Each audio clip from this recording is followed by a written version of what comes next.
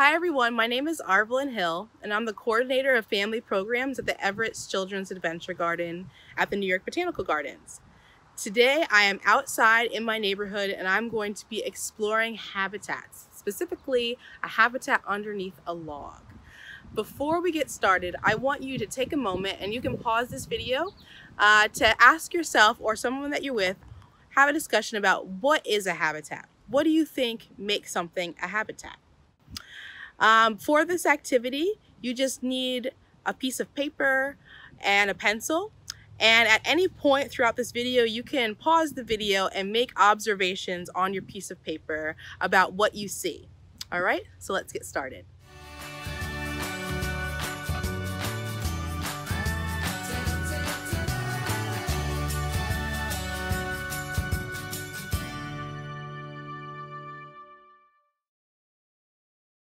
This is the log and in just a moment I'm going to flip it over and to see what I find.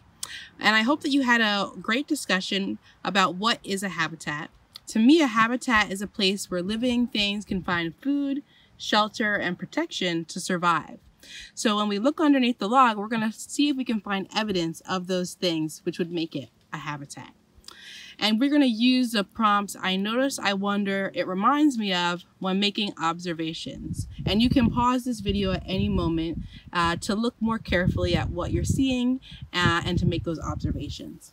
So let's turn it over and see what we can find. All right.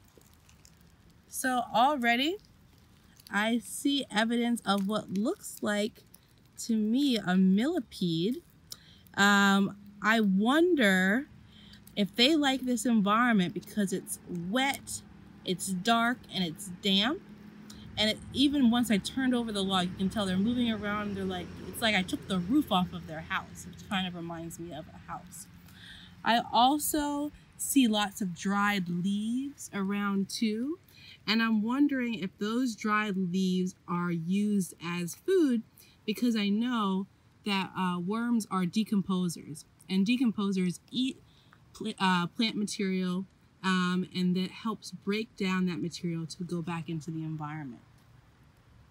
I also see that there are ants around too um, and that this environment is very cozy to them and they're enjoying it.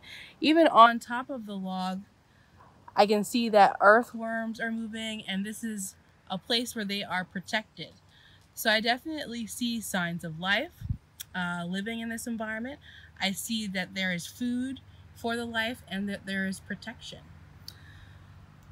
So next time that you are outside, uh, turn over a rock or a log and see what types of living things you might find underneath um, and explore a type of habitat.